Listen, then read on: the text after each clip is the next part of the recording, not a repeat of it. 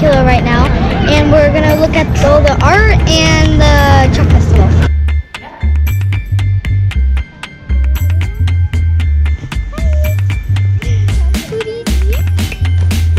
Smells like donuts.